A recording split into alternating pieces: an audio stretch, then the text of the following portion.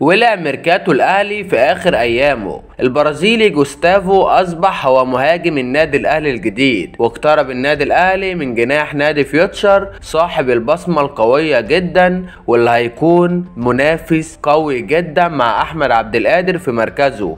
السلام عليكم. مع نهاية موسم الانتقالات أصبحت معالم صفقات الأهلي الجديدة شبه وضحت للجميع. الكلام حاليا إن النادي الأهلي خلص مع المهاجم البرازيلي جوستافو دا سيلفا. اللاعب اللي سبق واتكلمنا عنه وقلنا إنه بيلعب في الدوري الكوري وقلنا إنه لاعب مميز ومهاجم مميز داخل منطقة الجزاء. في حلقتنا النهارده هنستعرض كل حاجة تخص اللاعب ده. هنستعرض أبرز مميزاته وعيوبه وأهدافه وإحصائياته وحاجات كتير جدا هنتكلم فيها عن اللاعب ده في حلقتنا النهارده. أتمنى بس قبل ما تبدأ الحلقة توحد الله وتصلي على سيدنا محمد وتعمل like و subscribe وفعل زر الجرس ومعكم أخوكم طوفان أهلاوي. يلا بينا. نبدأ الحلقة. الراجل اللي قدامك ده اسمه جوستافو هنريكي دا سيلفا سوزا. مواليد 29 مارس 1994 يعني عنده 28 سنة في الوقت الحالي. لاعب من أصول برازيلية ومركزه في الملعب مهاجم صريح وطوله متر 88 سنتي وبيلعب حاليا في الدوري الكوري تحديدا في نادي اسمه هيونداي. قيمته التسويقية على Transfermarkt مليون و200 ألف يورو. تعال بقى نستعرض أرقام جوستافو آخر خمس مواسم مواسم بداية من موسم 17 18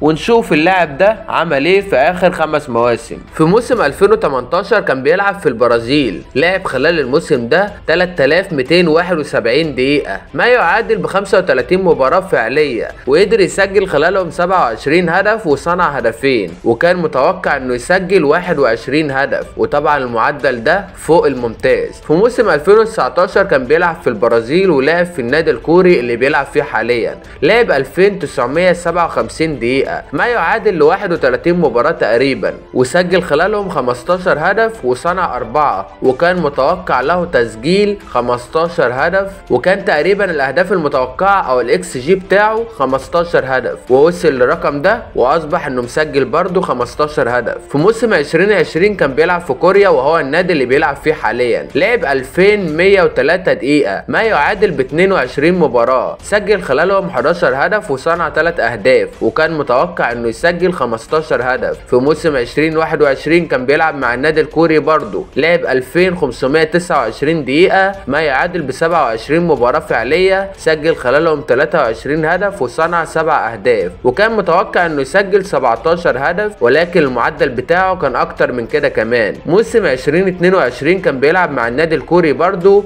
لعب 2679 دقيقة ما يعادل ب 27 مباراة وسجل خلالهم 12 هدف وصنع أربعة وكان متوقع إنه يسجل 14 هدف. ودي أرقامه آخر خمس مواسم. بنسبة كبيرة أرقام مميزة وأرقام كويسة واللاعب عنده نسبة مساهمات مميزة جدا. لو هنتكلم بقى بشكل عام فجوستافو خلال مسيرته لعب 17056 دقيقة ما يعادل ب 183 مباراة ساهم خلالهم ب 126 هدف لأنه سجل 105 هدف وصنع 21 ودي أرقام بصراحة مميزة على أبعد مدى. اللاعب آخر ثلاث مواسم من 2020 حتى الآن شارك في 7248 دقيقة ما يعادل ب 78 مباراة فعلية ساهم في 60 هدف لأنه سجل 46 هدف وصنع 14 أما بقى لو هننتقل دلوقتي لأبرز مميزاته وعيوبه فأبرز مميزات جوستافو إنه لاعب ممتاز جدا في ألعاب الهواء لو عملت إحصائية لأهدافه اللي سجلها بالضربات الرأسية ممكن تلاقيها أكتر من 60% من أهدافه. بشكل عام. حرفيا هو لاعب مركب رجل في دماغه.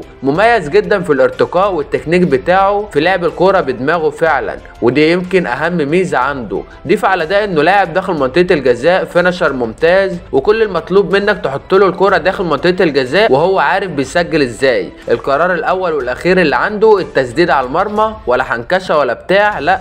أنا عاوز أسجل هدف. مسدد بشكل كويس برجله الأساسية والعكسية. بيقدر يشوط برجله اليمين والشمال. عنده قوة بدنية مميزة وبيخبط مع المدافعين حرفيا. أما عن عيوبه فهو مش لاعب كورة جامد. إزاي يا طوفان؟ هقول لك بمعنى إن ال dribbling بتاعه مش مميز. ونسبة السيطرة على الكورة مش كبيرة. دايما لما بيكون خارج منطقة الجزاء مش بيبقى مفيد تماما. أو بيبقى مفيد بس مش على المستوى المطلوب يعني. خطورته كلها منحصرة داخل منطقة الجزاء ودي طبعا حاجة كويسة لأنك محتاج ال profile ده ولأن مفيش فريق بيلعب قدامك بدفاع متقدم علشان تبقى قلقان من الحتة دي. ولكن حتة إن كورته ما تبقاش عالية وال control بتاعه على الكورة مش مميز بشكل كبير تقلق شويتين يعني. ولكنه لاعب كويس لاعب يقدر يديك إضافة مهاجم داخل منطقة الجزاء خطورته مميزة جدا بيقدر يسجل أهداف بشكل كويس معدلات تهديفه كويسة وإن شاء الله يخدم منظومة النادي الأهلي. الموضوع الثاني وهو موضوع النادي الأهلي واحمد رفعت. أحمد رفعت دخل اهتمامات النادي الأهلي في الفترة الأخيرة وأصبح النادي الأهلي مهتم باللاعب جدا بعد انتهاء الإعارة بتاعته أو فسخ الإعارة بتاعته مع النادي الإماراتي اللي كان بيلعب فيه. وطبعا كلنا عارفين إن مارسيل كولر عايز حد في ناحية الجناح الشمال من بدري والنادي الأهلي ما قدرش يخلص لاعب. فأنسب خيار دلوقتي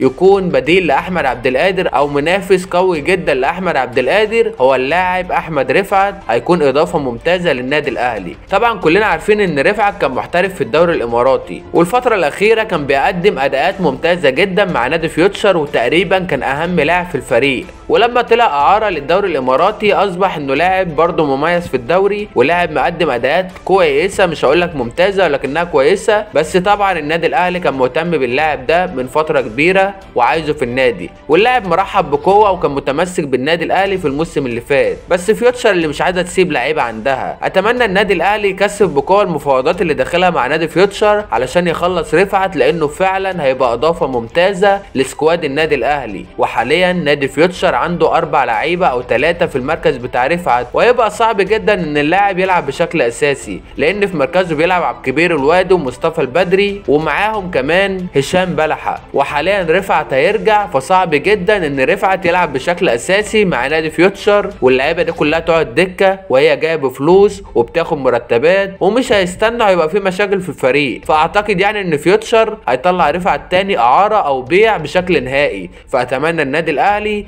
يكثف المفاوضات اللي هو داخلها على رفعت وإن شاء الله نقدر نخلص اللاعب. كده يا صديقي أنا خلصت كلامي. باقي كلامك أنت. قول لي رأيك. هل جوستافو لاعب مفيد للنادي الأهلي في الفترة اللي جاية ولا لأ؟ وهل تؤيد انتقال أحمد رفعت للنادي الأهلي وشايف إنه لاعب إضافة كبيرة؟ ولا أنت شايف إيه؟ أتمنى قبل ما تقفل الحلقة تقول لي رأيك في ال comments لأنه يهمني جدا. وإن شاء الله تكون الحلقة عجبتك وتكون موفقة بالنسبة لك. أتمنى كل التوفيق للنادي الأهلي في آخر كام يوم في الميركاتو لأن فعلا آخر الأيام دي بتبقى صعبة جدا ولازم تخلص فيها اللعيبة اللي أنت عايزها بشكل سريع. أخيرا أنا خلصت كلامي أتمنى قبل ما تقفل الحلقة توحد الله لا إله إلا الله وتصلي على سيدنا محمد عليه أفضل الصلاة والسلام وتعمل like و subscribe وتفعل زر الجرس علشان يجيلك تنبيه بكل الحلقات الجديدة. وكان معكم أخوكم طوفان أهلاوي. نتقابل في حلقة جديدة إن شاء الله. سلام.